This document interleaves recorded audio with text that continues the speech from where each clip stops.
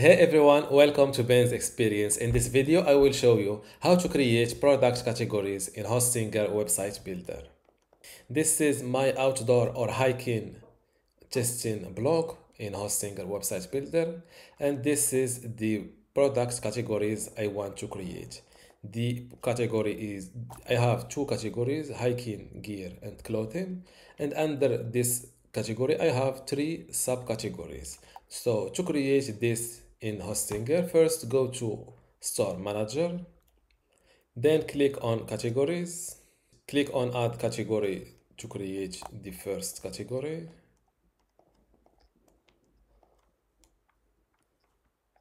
Then click on Save. Let's assign some categories to this. Click on Save. Now do the same for the first subcategory of trekking poles. And to distinguish these subcategories from the categories, you can add something like subcategory and click on save. But before that, let's assign a product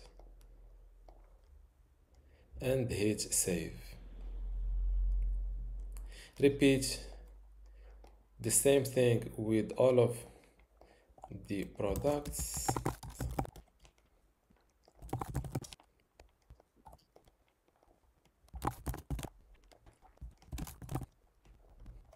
Now that all of my categories and subcategories are added successfully. I need to show them in my website to do that go back to your website editor by clicking on this edit website button now go to pages and navigation and click on add page button. From this left side list, click on online store, then go with product list template. Give it a name, for example, hiking gear. Then click on save. Now, as you can see, all of my uh, products are showing in this hiking gear category. To show just the hiking category products, click on edit section and under filters, first disable this option of showing categories or filters. Then select only hiking gear. As you can see, the, the one product under hiking gear started to showing up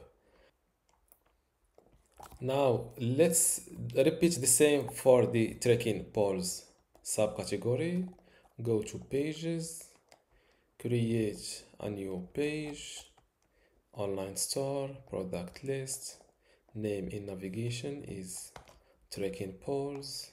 Click on save, edit section, filters, disable, trekking poles, trekking poles, and hit as you can see my trekking poles is added next to hiking gear to make it appear under hiking gear.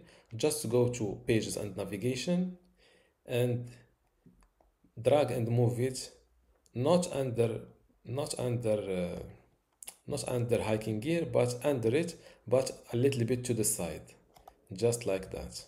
As you can see now I have trekking poles under hiking gear repeat the same with all of these categories and subcategories and this is the end of this tutorial which is how to add product subcategories in Hostinger website builder. Before you go, I have something special for you. I have two free online video courses for you. The first one is about Hostinger hosting and WordPress managing and the second one shows you how to use Hostinger website builder to make basic websites or online shops. You can get them both for free just by clicking the link in the description. If you like this video, give it a thumbs up and subscribe. If you have any question, leave a comment below.